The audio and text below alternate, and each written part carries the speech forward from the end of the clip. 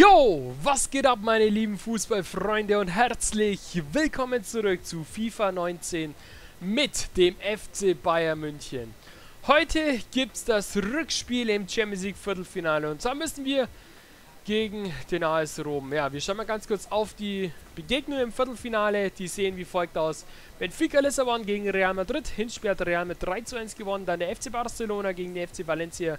Hinspiel hat der FC Barca mit 1 zu 0 gewonnen. Der FC Bayern München hat gegen Rom in Rom im Hinspiel mit 2 zu 0 gewonnen und das letzte Spiel war der SSC Neapel gegen Atletico Madrid. Hinspiel 3 zu 0 für Atletico Madrid, also die spanischen Teams Real, Barca und Atletico geben wieder Vollgas.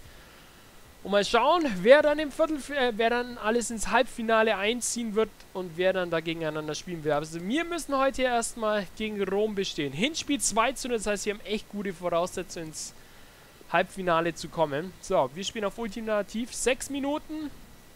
Und jetzt gibt es natürlich noch einen Kurzblick auf die Aufstellung. Also vorne natürlich Robert Lewandowski momentan Top-Torjäger in der Champions League mit 8 Toren. Links Kingsley Coman. Äh, Coman äh, rechts Robin, der ist nicht ganz fit, aber mir fehlt die Alternative. Und deswegen muss er heute von Anfang an ran. Dann James Rodriguez, Thiago und Goretzka im Mittelfeld und die Abwehr mit Alaba, Kimmich, Boateng und Varan. Und im Tor natürlich Manuel Neuer. Ja, soweit dazu. Und jetzt kann es losgehen. Champions League Viertelfinale, das Rückspiel. Der FC Bayern München hat souverän im Hinspiel gespielt, hat das Ding mit 2 zu 0 gewonnen. Und jetzt das Rückspiel.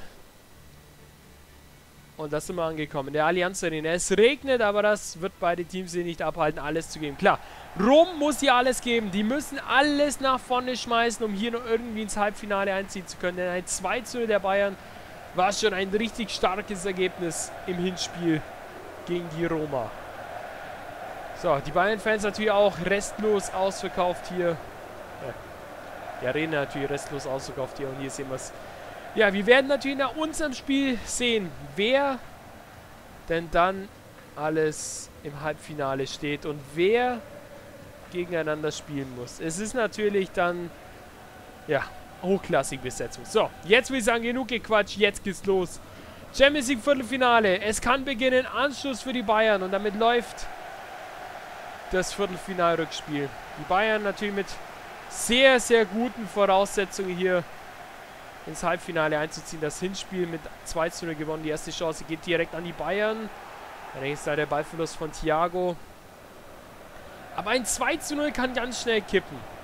Man sollte sich definitiv nicht aus, auf diesem Ergebnis ausruhen, denn zwei Tore, die traue ich Rom auf jeden Fall zu. So, Leon Goretzka im 16er. Goretzka vom Ball getrennt und hast du wieder der weite Befreiungsschlag. Aber die Bayern halten den Ball über Kingsley Komma. Gut gespielt und jetzt James Rodriguez. Stark gespielt und die erste dicke Chance nach 5 Minuten für den FC Bayern München. Lewandowski steckt durch zu James Rodriguez. Eigentlich ist der Torhüter der Rom zur Stelle. So, Ecke für die Bayern. Kurze Variante, da ist Robben natürlich mit dabei. Weg zurück zu Varan. Varan zu James wieder. James raus zu Alaba. Alaba probiert's! Stark! Aber wieder der Torhüter dazwischen. Ich bin ja gespannt, wer bei Rom im Tor steht. Ich hab's jetzt noch nicht lesen können. So, jetzt vielleicht mal die Chance für die Italiener. Aber gut hier aufgepasst. Alaba dazwischen. Da ist Goretzka. Thiago und außen. Kingsley, komm mal. Viel Platz für den Franzosen. So, komm mal zu Lewandowski. Nein. Zweite Chance auch nicht. Zweimal wurde hier Reingabe abgeblockt. Zweimal kommt der Pass leider nicht an. Und hier sehen wir nochmal Sergio Asendio im Tor bei der Rom. Na? Und hier nochmal die Glanzparade gegen James Rodriguez. So, nächste Chance, Eckball für die Bayern.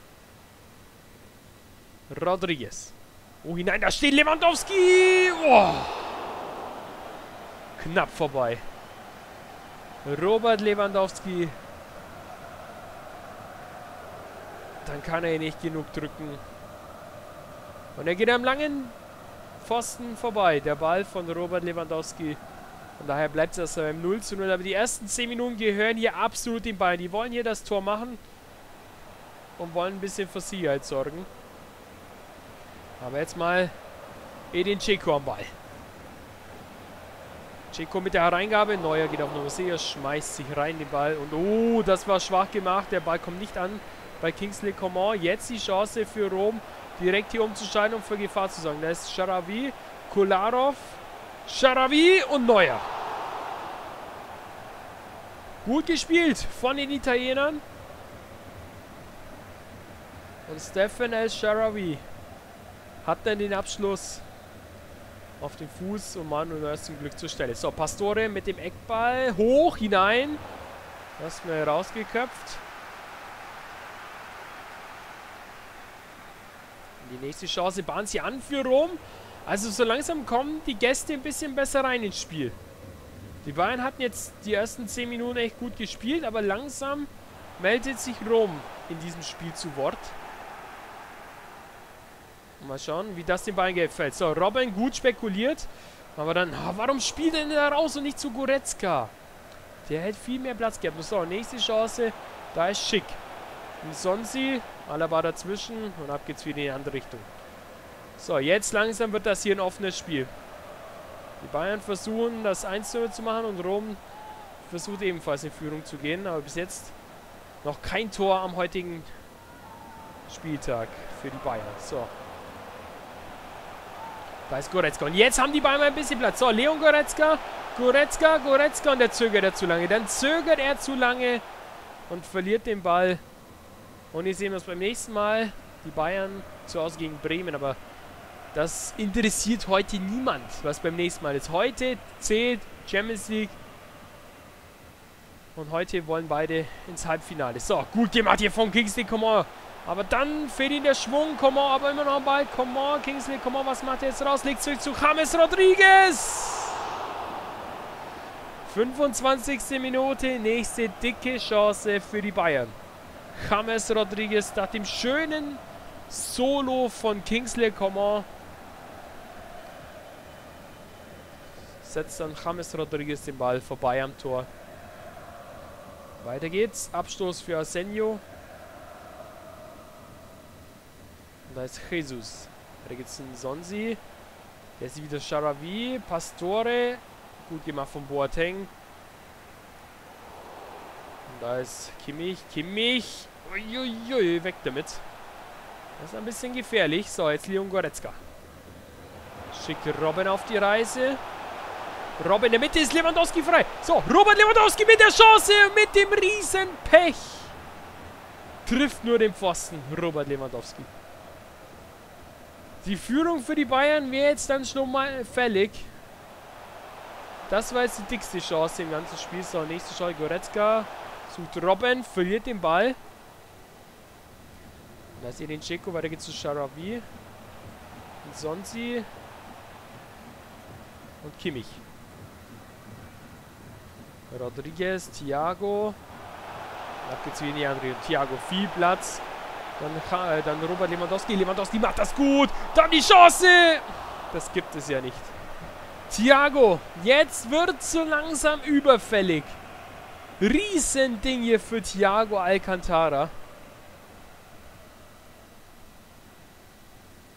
Jetzt wird es wirklich so langsam überfällig. Die Führung für die Bayern. Lewandowski hat jetzt eine richtig dicke Chance gehabt. Thiago und die nächste. Oh, schade. Und da wäre Goretzka durchgestartet. Das hat Lewandowski gesehen, aber der Ball vorher schon wieder weg. So, jetzt Achtung. Achtung. Gut gemacht hier von Varan. Starker Einsatz im Zweikampf und ab geht's in die andere Richtung. Und vorne ist wieder Kingsley. Komm mal. Auf und davon. Komm schon. Komm mal. Will ihn da vorbeiliegen. Ein Gegenspieler gelingt ihm nicht. Und oh, ho, ho, das war riskant. Die Bayern drehen sofort um. So, Lewandowski, die Chance! Das gibt es ja nicht. Das gibt es doch nicht. Dicke Chance wieder für Lewandowski. Und ja, man hofft natürlich jetzt bei Rom, dass die jetzt langsam die Führung machen. Wenn die Bayern solche dicke Chancen liegen lassen, dann rächt sich das normal immer. Harter Zweikampf, trotzdem der Ball bei den Bayern. Da ist James Rodriguez. Der hat auch schon dicke Chance gegen Rodriguez. Wartet auf Lewandowski und verliert den Ball. Ah, schwieriges Spiel für die Bayern. Jetzt Achtung, Neuer will raus und ist da und greift sicher zu. Und ab geht's über Coman. Der verliert eigentlich den Ball, aber Alaba holt ihn sie nochmal. Und wieder nach vorne Kingsley Coman. Ja, wieder Rom dazwischen. Die letzten Minuten der ersten Halbzeit laufen. Bis jetzt 0 zu 0, aber es ist ein sehr ansehnliches 0 zu 0, weil die Bayern viel investieren, um hier das 1 zu 0 zu machen, aber bis jetzt noch nicht das Glück hatten, auch den Ball nicht mal im Tor unterzubringen. Nächste Chance für Rom. Die lauern natürlich auf das 1 zu 0, aber hier auch wieder die Bayern souverän dazwischen. So, jetzt vielleicht nochmal die Chance kurz vor der Halbzeit. Lewandowski legt ab zu Goretzka. So, Leon Goretzka raus zu James Rodriguez. Gut gesehen, Rodriguez. Goretzka, den kriegt er noch.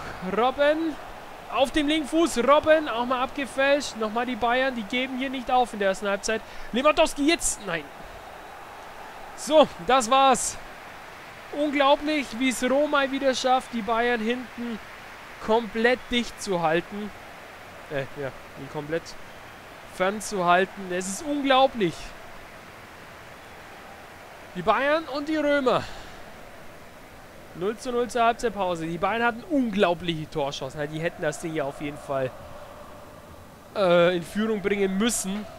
Aber bis jetzt steht es 0 zu 0. Für Rom ist es natürlich ein Erfolg, hätte ich jetzt mal gesagt. Für die Bayern, ja, da muss ein bisschen mehr Zielgenauigkeit her in der zweiten Halbzeit. Die hätten definitiv hier das Tor machen müssen. Gut, soweit dazu. Dann schauen wir noch weiter in der zweiten Halbzeit, was da so geht. Robin, ja, wie gesagt, der ist eh schon angeschlagen reingegangen in dieses Spiel. Ist nicht ganz fit, aber muss durch. Denn mir fehlen die Alternativen zum Wechseln. So, jetzt geht's weiter. Zweite Halbzeit läuft. Wer kommt ins Champions League Halbfinale? Bis jetzt immer noch die Bayern. Allerdings, ja, sie haben viele Chancen liegen gelassen. Und das heißt ja nochmal, wer die Chancen liegen lässt, das rächt sich dann. So, ist die Chance für Rom. Ganz, ganz tückische Flanke hier. Fliegt vorbei an Freund und Feind und dann hinten Sharabi, der den Ball da irgendwie noch aufs Tor bringt. So, nächste Chance, Ecke für Roma. Gut hinein. Erstmal raus den Ball. Nächste Chance und... Oh, je. Das müsste ein Sonsi gewesen sein mit seinem Abschluss. Dicke Chance. Alaba rutscht vorbei. Neuer wäre da nicht mehr rangekommen. Glück für die Bayern. 49. Minute läuft. Immer noch 0 zu 0. Klar, für die Bayern ist es natürlich nicht schlecht, dieses 0 zu 0, aber wenn hier zwei Tore fallen, dann brennt die Bude hier in München. So, komm mal. Schöne... Ah, die Flanke kommt wieder nicht an. War eigentlich gut gedacht. In der Mitte waren die Mitspieler. Hier sehen wir es. Die Bayern-Fans, die zittern so ein bisschen. 0 zu 0. Hört sich eigentlich richtig sicher an, aber wie gesagt, sobald hier ein Tor fällt, brennt's. Und wenn dann noch ein Tor fällt, dann haben wir auf einmal eine mögliche Verlängerung vor uns. Aber so weit denken wir noch nicht. Lewandowski. Ah, kommt nicht durch. Bleibt hängen. Und jetzt Sharavi. Klar, Rom wird jetzt immer mehr investieren, um hier doch noch die Führung zu erzielen und dann vielleicht das 2 zu 0 zu machen. Aber die Bayern werden das natürlich verhindern wollen. Gut gemacht hier, auch gut aufgepasst von Goretzka. Uh, Fehlpass von Goretzka. Und dann ist Varanda, aber auch mit dem Ballverlust. So, Checo im Set, das ist gefährlich. Und wieder ist Manu Neuer zur Stelle. So, wir werden jetzt aber trotzdem mal wechseln. Robben ist einfach fertig. Den tun wir raus und bringen dafür mal Thomas Müller neu ins Spiel rein. So, hier nochmal die Chance. Edin Checo. Gegen Neuer. Neuer bleibt Sieger. Also die zweite Halbzeit gehört bis jetzt den Italienern aus Rom. So, nächste Chance. Charavi schön reingelegt. Kopfball kommt und Neues zur Stelle. So, Alaba. Uh, das ist gut gemacht von Sonsi. Aber die Bayern bleiben erstmal am Drücker. So, da ist Lewandowski, da ist Goretzka, aus ist Müller und da ist die Chance für die Bayern. Thomas Müller, macht den doch! Nein, er macht ihn nicht, er scheitert an Arsenio. Riesenchance hier für die Bayern. Thomas Müller, der frische Spieler, der frische Mann auf dem Platz. Und dann vergibt er diese Riesenchance. Und jetzt Einwurf für die Bayern. Pastore geht runter bei der Roma. Neu auf dem Platz. Äh, werden wir wahrscheinlich gleich links oben sehen. Jeden Fall ausgeführt. Pellegrini. Thiago. Goretzka. Da startet James Rodriguez. Der bekommt den Ball und macht es. 64. Minute. Es ist passiert. Das überfällige Tor ist es da und das gibt den Bayern jetzt die Sicherheit. Die Bayern führen. James läuft, Goretzka sieht es und dann macht er das Ding rein. Endlich. Die Roma ist geknackt. Die Bayern führen mit 1 zu 0 gegen den AS Rom. Es hat funktioniert. James Rodriguez, 64. Minute, sein zweites Tor in dieser Champions League-Saison. Die Bayern mit der Führung und damit wahrscheinlich auch mit dem Schritt ins Halbfinale. Denn jetzt äh, braucht Rom drei Tore. Verlängerung ist ausgeschlossen. Klar, es sind noch 25 Minuten zu spielen, aber drei Tore in München gegen die Bayern, das ist nicht einfach. So, nicht so. Kingsley Coman, äh, Coman bleibt hängen. Weiter geht's mit Einwurf für die Bayern. Und Sonsi geht runter. Ich fand ihn einen von den stärksten bei den Roma, äh, bei den Römern. So, Thiago. Goretzka. Müller. Ist natürlich noch frisch. Der kann sich hier mal einen Zweikampf durchsetzen, aber dann sind es zwei Stück. Behält der Bastard den Ball und dann der Pass in die Mitte kommt die an. Es scheint so, als wäre Rom gebrochen. Die Bayern kommen jetzt so. Nicht so. James Rodriguez, das ist die Entscheidung. Rom ist gebrochen. Die Bayern mit dem Doppelschlag.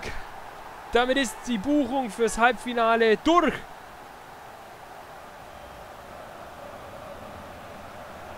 Damit stehen die Bayern im Halbfinale. Die Bayern-Fans feiern ihre Leute. Und die Bayern führen mit 2 zu 0 zu Hause gegen Rom. Und das war's. Und jetzt werden wir, ich bin ja sehr gespannt, wer unser Gegner im Halbfinale dann wird. Die Wahrscheinlichkeit, dass es einer von den großen Spaniern wird, ist sehr groß. James Rodriguez, sein drittes Tor in dieser Champions League Saison. Heute mit dem Doppelpack gegen Rom. Wie gesagt, ich vermute, dass es die drei Spanier ins, äh, ins Halbfinale schaffen werden. Also Barcelona, Real Madrid und Atletico Madrid. Aber wer es dann wird, das werden wir jetzt dann gleich nach dem Spiel sehen. So, nochmal die Möglichkeit für uns kurz zu wechseln. Wen haben wir nun? Als Sanchez der Freien für Goretzka und außerdem Martinez für äh, boah, für Boateng. Ne, keine Ahnung. Äh, Command auf runter, Gnabry darf noch ein bisschen rein. So, Eckball nochmal für Rom. Wechsel bei den Bayern. Und jetzt Sharavi steht am Eckballpunkt bereit. Hoch hinein. Neuer bleibt auf der Linie. Uh, nicht ungefährlich. Der Kopfball von De Rossi. Alaba war eigentlich aber auch gut gestanden. Den hätte er auch wahrscheinlich geblockt. Weiter geht's. Mit den Bayern, die das Ding jetzt hier doch souverän in der eigenen Hand haben. Für mit 2 zu 0. Gesamt damit also 4 zu 0 das Ergebnis. So, und jetzt nochmal die Bayern. Ah, schade, der Ball kommt nicht bei Müller an. Ja, die letzten Minuten laufen hier langsam. 13 Minuten noch zu spielen. Rom bräuchte vier Tore, um hier noch weiterzukommen, aber das ist es, glaube ich, relativ unwahrscheinlich. So, Eckball, Rom nochmal hoch hinein. Neuer kommt raus, Faust ist zur Stelle. Alles erstmal weggefaustet. So, Sharavi. Im Abseits. Weiter geht's mit Boateng beim, Abst äh, beim Freistoß. Ja, 10 Minuten noch. Die Bayern werden das jetzt hier gnadenlos runterspielen. Na gut, was sollen die jetzt hier auch noch volle Energie reinlegen? Vielleicht eh noch Serge Gnabry. Ah, bleibt hängen an Kardoskop. Da ist Sanchez. Nochmal der neue Mann zu Müller. Lewandowski. Lewandowski! Schöner Schuss aus der Distanz. Aber Arsenio ist wieder zur Stelle. Kann den beide abwehren. So, Chance ist da. Gnabry. Viel Platz für ihn auf einmal. Gnabry. Sucht das kurze Eck, findet eigentlich nur den Gegenspieler. Das Bein des Gegenspielers. So, nächste Chance. Wieder Eckball für die Bayern. Kurze Variante. Oh, hätte mal klappen können. So, Sanchez. Gnabry. Und Kimmich. Die Bayern haben jetzt alle Zeit der Welt, hier nur schön ruhig durchzukombinieren. Und dann Lewandowski und dann ist der Ball wieder weg. Ja, wie gesagt, ich bin echt gespannt, gegen wen es denn dann im Halbfinale geht. Es wird natürlich ein Riesenbrocken, egal wer von den Spaniern es wahrscheinlich wird. Ich glaube ja wirklich, dass die drei Spanier es schaffen werden. Aber wer von den drei, das wird dann natürlich nur spannend. So, Lewandowski hat jetzt nochmal die Chance, macht das Ding rein, aber es stand im Abseits Thomas Müller. Das wäre dann noch das Tor für Robert Lewandowski gewesen, aber hier Müller ganz klein abseits. So, 90. Minute läuft. Die Bayern immer noch mit der 2 zu 0 Führung hier. Und jetzt nochmal der lange Ball. 4 Minuten Nachspielzeit, warum es hier 4 Minuten oben drauf gibt, das weiß selbst ich nicht. Ja, ganz ehrlich, bei so einem Ergebnis hätten wir schon pünktlich abpfeifen können. Da ist nichts mehr drin. Für Rom so, jetzt dann wir die Chance. Rum nochmal am 16er der Bayern. Ja, nicht schlecht, aber nichts Dramatisches neuer zur Stelle. Aber denkst dann der Fehlpass von Thiago. Varan rutscht dann noch ein bisschen aus. Jetzt ein bisschen Heckmeck da. Und dann gibt es halt den nur Eckball. Ach komm schon. Das wird jetzt alles unnötig in die Länge gezogen. So, Ecke, Sharavi. Neuer fängt ihn. Schiri pfeift ab. Die beiden im Halbfinale. So, damit ist es offiziell. Die Bayern stehen unter den letzten vier in der Champions League. Souverän 2 zu 0 zu Hause, 2 zu 0 auswärts. Rom hat sich nicht schlecht geschlagen, aber zum Schluss waren die Bayern einfach deutlich besser. Und hier der Spieler des Tages. Zwei Tore von ihm, James Rodriguez. Und jetzt bin ich gespannt, wer unser Gegner im Halbfinale wird. Jetzt bin ich echt gespannt, wer unser Gegner im Halbfinale wird. Es wird ein dicker Brocken. Es wird ein richtig, richtig dicker Brocken. Es ist jetzt alles möglich. Real, Barça, Atletico. Eine von denen drei wird es, glaube ich. So. Und Atletico Madrid ist schon mal sicher durch, denn die haben in Neapel mit 1-0 gewonnen. Und die anderen Ergebnisse, die sehen wir jetzt gleich. So, dann sehen wir mal ganz kurz vor. Und dann schauen wir drauf, auf die Begegnungen in der Champions League. Europa League. Oh, Halbfinale sogar mit deutscher Beteiligung. Mit Leverkusen. Gut, dann schauen wir drauf. Also. Ja, es sind wirklich die vier Spanier, die drei Spanier geworden. Real Madrid, der FC Barcelona, der Atletico Madrid und die Bayern. Und jetzt kommt die spannende Auslosung fürs Halbfinale. Es ist Atletico Madrid geworden. Holla, die Waldfee. Und das zweite Spiel zwischen Barcelona und Real Madrid. Natürlich auch nur ein Hammer-Ding hier. So, hier nochmal Halbfinale-Auslosung. Wir können es uns ja nochmal ganz kurz anschauen. also, der FC Bayern München gegen Atletico Madrid und der FC Barcelona gegen Real Madrid. Also die Spanier und die Bayern. Das sind noch die verbleibenden Spieler, äh, Teams im Champions League Halbfinale. Wir können ja mal drauf schauen, wann es da rund geht. Und zwar jetzt haben wir das Spiel gegen Bremen, dann DFB-Pokal Halbfinale gegen Hannover, dann gegen Nürnberg und dann hier Champions League Halbfinale gegen Atletico Madrid. Und dann hier das mögliche Finale.